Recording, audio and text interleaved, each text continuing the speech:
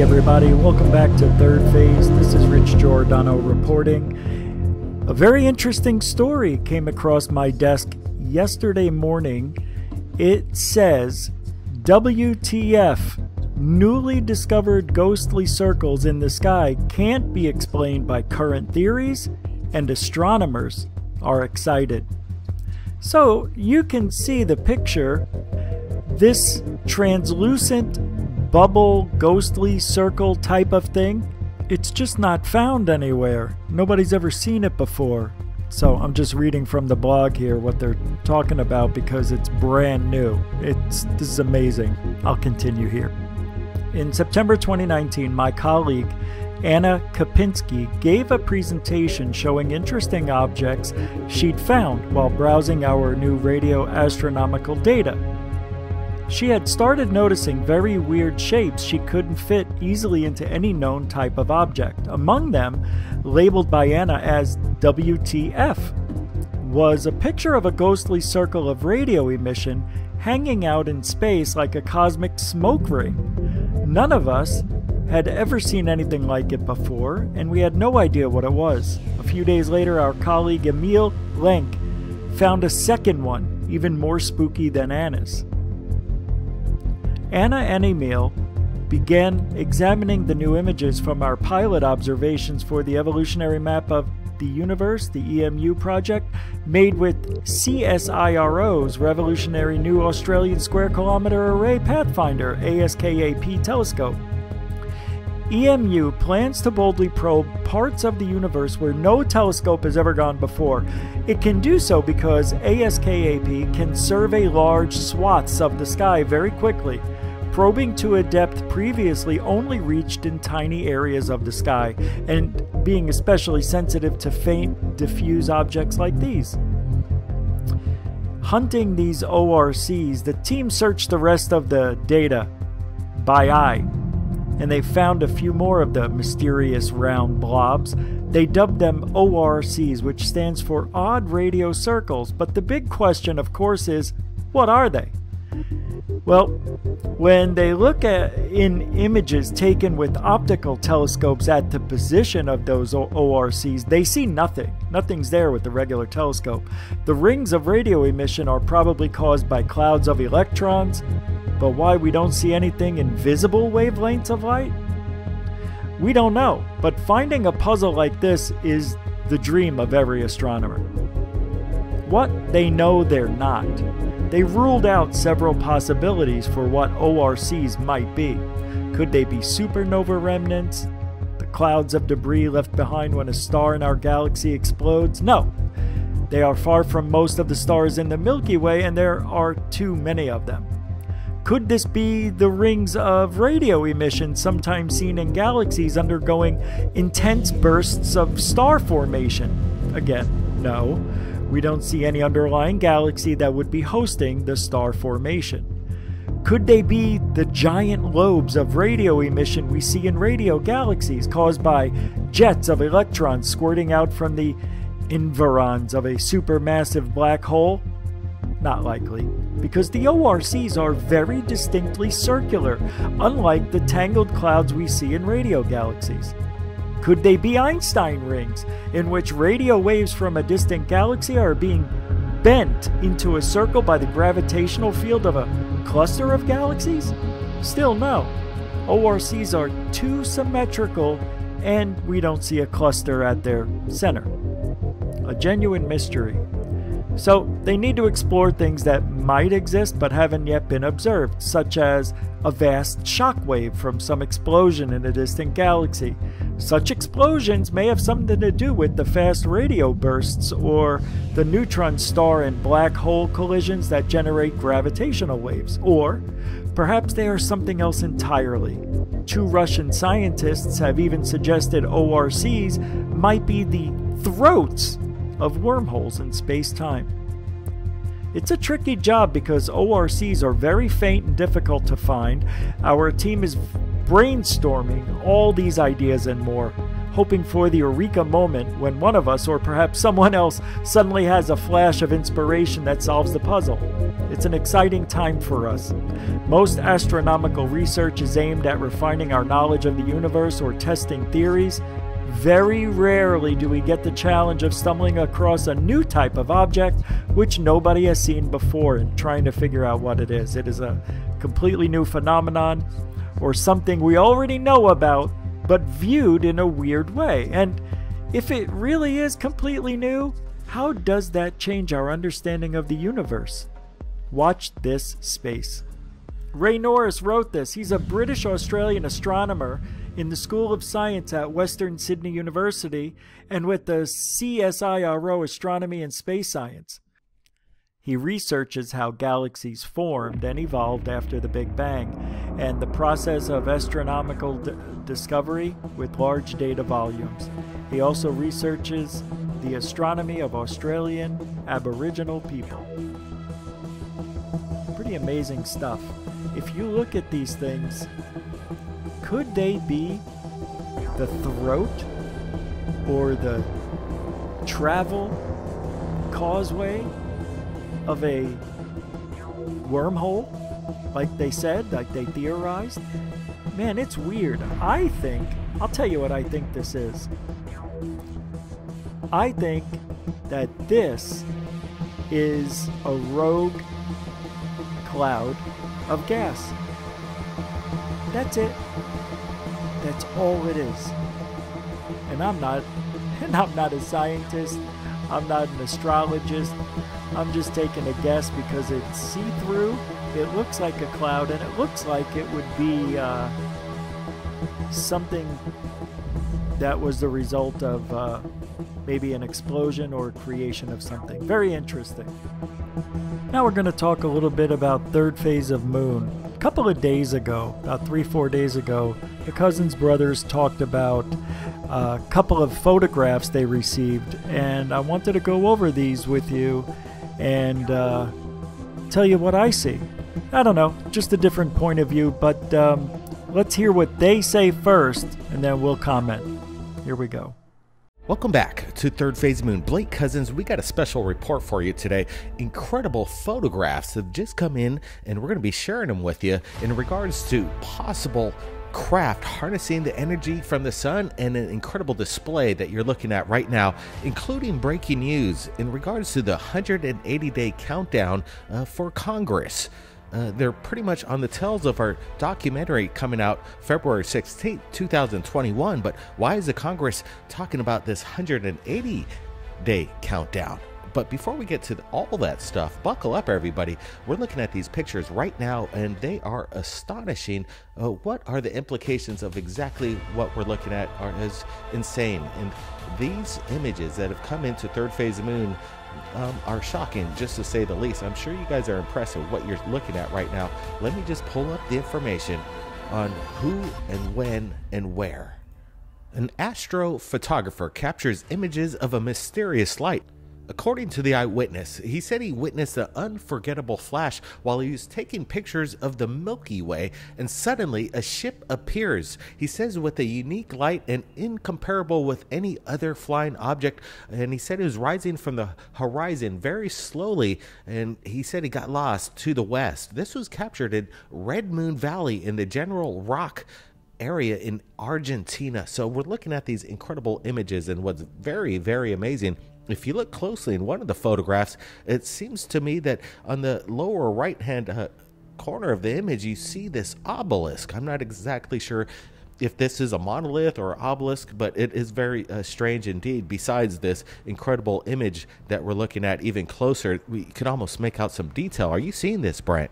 Absolutely. Even pulling up on that one particular photo, you even get a better look at it. Right above the light, it seems like there's even a cabin above it. You can almost see structure, like it's a craft, not just a, a light in particular. Could there actually be some sort of craft right there producing this kind of light? It looks elongated, almost tic tac in, in its own right, but it has this mysterious light that kind of brings off this luminosity even in the sky. It kind of lights up everything around it, which is creates this rather beautiful look to it. I really like this photo, Blake. Yeah, some people might say that this is Photoshop, but I, I don't see any deception. We're looking at these very closely.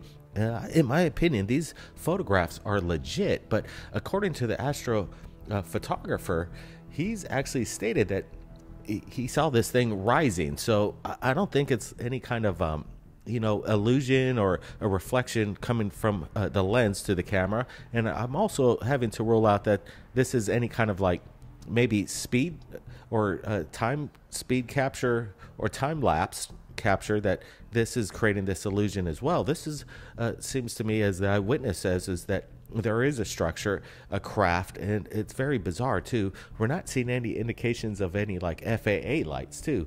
We almost see this black craft over the beam of light. This is very bizarre.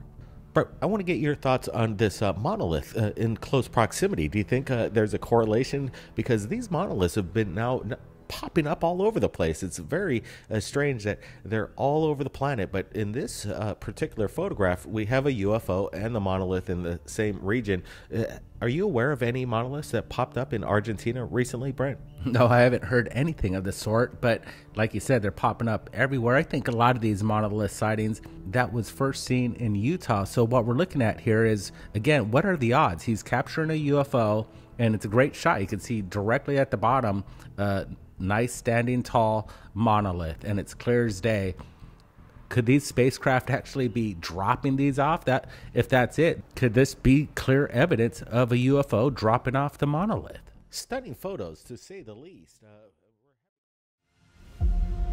I can already tell this is going to be a little difficult. This to me looks like a couple of different things. It looks like time lapse it looks like a lens flare. It looks like a UFO. It looks like two UFOs. We've got a whole bunch of stuff here, but seeing the sun like the way we just saw it right there, and whatever this object is, I'm not sure if it's from the housing of the camera and it's just a reflection of light inside the the the camera you know right around the lens area. I don't know. This is tough because right there, that reminds me of the UFO in 2005, I believe it was, or 15. I think it was 15, 2015, where in China they saw these row, not a row, but a tube of light.